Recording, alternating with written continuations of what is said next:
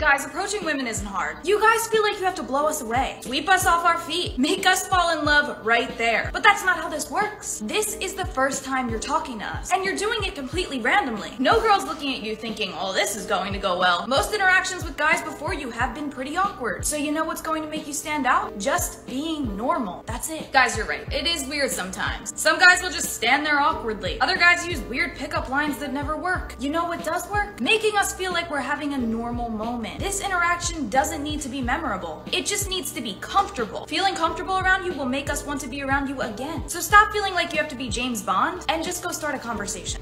No. Well, that's where you're just wrong, lady. Modern women don't want quote unquote normal, they expect a meet cute. They want a man to approach them and have instant chemistry, attractiveness, and leave a first impression that can only be described as a cosmic impossibility. It's come to the point where any form of awkwardness is a sign of creepiness, and creepiness runs far too many risks for the average man. Risks that outweigh the reward. And content like this just puts all of the blame on men, regardless of what he does, he's always at fault. If we don't approach, it's because we're not manly enough. And if we do approach, we're bothering women. And when given options like that, the only way for men to win is to not play the game. And your solution is to lie to men and try to shame them into doing one of the riskiest moves a man can do in modern public. Even though the solution is incredibly simple. You're the ones who are going to have to approach and give up the stupid idea that your life is just one gigantic romantic comedy that ends with a wedding. That would make us feel comfortable, normal, and actually want to be around you. But we already know this simple solution will never work, mainly because you won't let it work. You don't want normal, you want delusional. Oh, you know that. Of course I do, sir. Everybody knows that. Of course we do, sir. Is it ever okay to reach out to an ex? Yeah, actually, it is sometimes okay to reach out to an ex. It honestly depends on the reason why you're not talking, the reason why you guys broke up, the reason why, and like it, any scenario. It depends on that. And it also significantly depends on the amount of time that has passed. So if we're talking about you guys were only together for maybe three to six months, and maybe it's only been three to six months since you last talked, and you want to reach out, it's not enough time. Those reasons why it didn't work are still there. They're not going to change.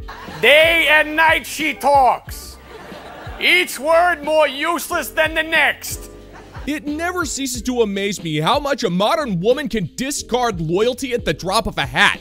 Reaching out to an ex proves this. Modern women treat their exes as their backup plan in case things don't work out with Chadnam PI. She'll break up with them, go out and have some fun, or get into a situationship with the man she does desire, and when it ultimately falls through, she'll reach out to the ex and assume he'll take her back because, well, reasons. She'll say she made a mistake or that she regrets her decision or whatever, but she only regrets that her future plans didn't work out and she expects her ex to merely pick up the pieces. It's a completely selfish act, and it doesn't give any respect to how the man feels about this. Loyalty is a sacred virtue to the self-respecting man, and if that loyalty is broken, especially by a woman, it's unfair to expect him to be okay with her reaching out to him. It just twists the knife and slows down its ability to move on. And it just goes to show that there's no punch below the belt that a modern woman isn't willing to throw if it serves her own interests. Same thing with if you were together for over a year. Give it at least a year. In any situation, give it at least a year. Because a year is enough time to go by for people to be in multiple seasons of their lives, and it gives them time to grow. Anything less than a year, I would say, don't do it. Don't send that text. Give them their space. Respect them. Respect yourself. Wow, that's, that's, that's fantastic work, man. You have the you have the wisdom of a six or seven thousand year old man. That's fantastic. We don't have to fill up the whole blackboard after all. Okay, so in other words, give that man time to get over the relationship, move on with his life, and then show up out of nowhere to completely turn his world upside down just so you can be given the opportunity to destroy his life again. Yeah, that's awfully nice of you. And while you're at it, why don't you just pour sugar in his gas tank and frame him for selling bootleg Bob Seger tapes on the black market? At least he'd be able to keep some dignity if you did that to him. What you're failing to understand here is that there are some things you cannot fix once you break them. And for the most part, that includes relationships. You don't get to make a permanent, life altering decision only to come back and expect things to be hunky dory. It doesn't work that way. If you go through a breakup, you live with the breakup. It doesn't just get to magically change because you don't want to be lonely anymore. You had your shot and you blew it. But I guess you're not through with committing as much collateral damage as humanly possible in that life of yours, which is just about on par with the modern woman. And also figure out why do you want to reach out to this ex? Is it for closure? Because you're never going to get closure from someone else. Okay? Closure comes from you. You don't need anything from them. Is it that you want to get back together? Will you be able to handle it if they say no? You've already been heartbroken. Do you want to go through that again? There's a lot to weigh out here, whether or not you reach out to that ex. Figure out your why. Why do you feel the need to? Do you miss them? Figure out why. Oh, Idiots! It's simple! Oh, well, the why is simple, woman. If you broke up with them and you're reaching out now, it's because you're willing to settle. You want the attention, the affection, and the knowledge that you can use this guy for resources. It's your way of avoiding accountability for your actions. The way he feels doesn't matter. All that matters is you get what you want. Now, this won't be true for all breakups, even I know this, but we're talking about modern women here. And in that context, unless the man was an inhuman monster, then we all know the story. It's all too common nowadays. And you don't deserve a second chance. If you broke up with this man for selfish and petty reasons, then the consequences of your actions are yours and yours alone to deal with. That man has suffered enough under your particular reign of terror and deserves the peace and freedom he created for himself, and you don't get to change that because you're willing to pretend to feel guilty. Just do that man a favor and leave him alone. Anything less would be uncivilized. If you're a guy and you want to be able to pull any girl that you want, I'm about to show you how. I know you guys usually take advice from your guy friends, but this is coming from a girl, so trust me, I know what I'm talking about. Number one, don't talk about hooking up or insinuate that you want to in the beginning. Being a girl, I know how many compliments we get on our bodies and surface level things in general. What is going to make you stand out trying to get to know the real her first and then adding all the extra benefits. Also, pro tip. The fact that you are not falling at her feet and that you are different from other guys is going to make her want you even more. Play the long game. No, and I don't care. Well, if there's one thing you can always count on modern women, it's the fact that because they menstruate, they assume they represent all of the women on the face of the planet, even though these women can only convey what they want. And this woman clearly is starting up a draft to get a new line of friend zone recruits for her dwindling army of simps. When you meet a man, you know if you want to sleep with them, but you're telling men to keep those desires to themselves to take the time to get to know you, and all that does is make you sound like you want the man for his emotional resources and nothing more. How do I know this? Because Tyrone doesn't need to get to know the real you. He automatically gets a fast pass to that rusted out roller coaster of mediocre fun time while the average men must wait in line and play that long game. And the reason why is simple. You don't want to sleep with the average man, which is fine. You're allowed to have your preferences, that goes without saying. But don't expect us to play your games. We'd rather have a padded sword fight over at Skeeter's house. Most of us would rather get hit in the face with a sword than waste our time finding out that there isn't an authentic bone in your body. We already know this. You make it obvious. Number two, communicate with her when you're not going to be on your phone. Girls are literally massive overthinkers and a little bit delusional. Our minds will literally jump to conclusions when you're not talking to us. So to ease our nerves, just let us know if you're not going to be on your phone. Communication is key. Really? Yeah, I agree. Communication is key. So when exactly are you going to get on that little aspect of relationship life?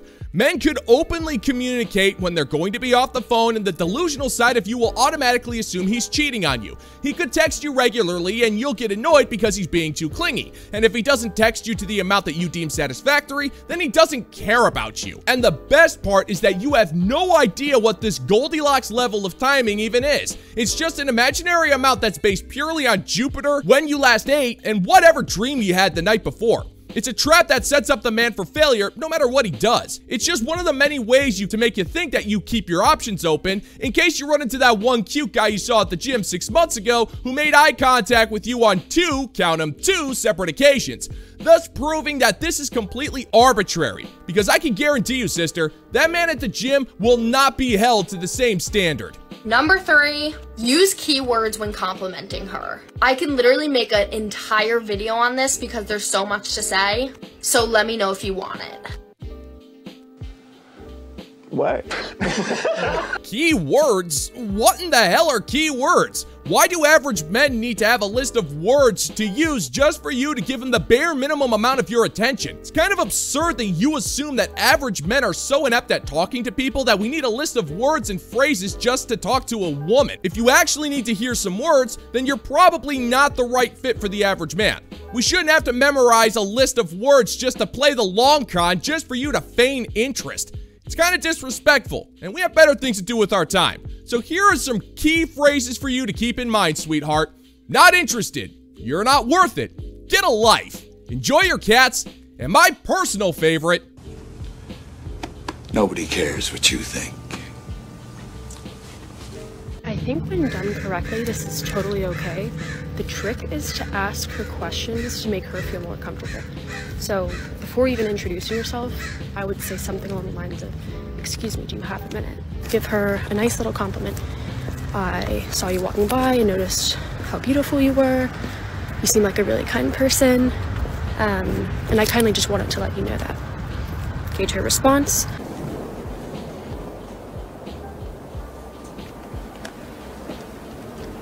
Nice try. Under normal circumstances, I would totally agree. A man should be respectful towards a woman he's interested in and take it from there. But this is the modern era. Things haven't been normal since the internet consumed the lives of the human population. It's no longer about a man's respect, it's about the man itself. An average man could walk up to you and do the exact same things that you're saying, and if you're even the slightest bit uncomfortable, then all of a sudden, that man has traumatized you with this toxic mansplaining. And that's the best case scenario. You clearly want the top 5% of men approaching you. Again, that's your preference and more power to you for having them, but here's the problem with that, sweetheart. Those men will never approach you. They do not have to. You will always approach them. They're the flame to your moth-like personality, sister. So the fact that you're giving advice to the men you clearly don't need it is nothing short of comical. Next step, ask her if she is single. If the answer is yes, then I think it's okay to go ahead and say, I would love to get your number and take you out. Is that something that you would be interested in? Keep asking these questions. Make her feel comfortable. Let her make the decisions. If the answer is yes, but I'm dating myself, I'm not looking right now, yada yada yada, that's a no. So just respect that. Respect that the universe didn't want that door to open. And let her know to have a nice day and move on. Ask her questions and let her make the decisions? Woman, if we did that, we'd all starve to death while you go to grad school to figure out what you want for dinner. Not only that, but you don't respect men who let you make the decisions.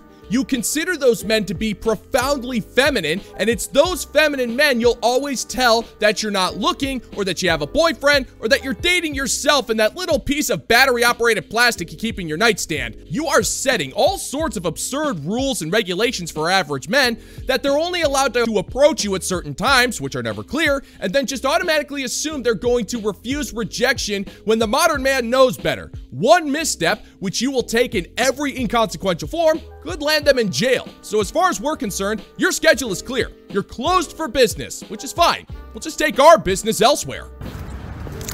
I will say two things that I do not love as a woman are lingering and when someone tries to shake my hand. The world can be a scary place, especially for women recently, and we all have our guard up. And the last thing we want to feel is uncomfortable by a man approaching us and not, you know, respecting our personal space or our bodies, okay? So if you don't know a random person, especially a woman, do not try to shake her hand and read the room. If she's not vibing, then let her walk away. So, hope this helps. There's the door. Why don't you check it out? So if I'm understanding you correctly, a man should only approach you when you want him to, read the room and be able to read whatever vibes you think you feel. And he's not supposed to shake your hand because shaking your hand, which is a simple way to show some respect, is somehow unsafe. So we need to stand at the correct distance, not too far, but not too close either. A distance that you won't make known in any capacity, by the way. And we need to make you feel comfortable, even though this world is so unsafe that you can walk around in the daytime wearing revealing clothing while being completely oblivious to the world around you and have your phone out to complain about how this world is dangerous and how men need to respect that. Yeah, you really look terrified there, darling, but don't worry. We're taking notes and what you're saying to heart. We won't approach you. We won't even bother you at all. You're free to live your life as you see fit without any interference from us. And we'll do you even one better. We will do it permanently. That way you can live safely as you grow old with your cats. There's no need to thank this, but we're gonna say it anyway. You're welcome.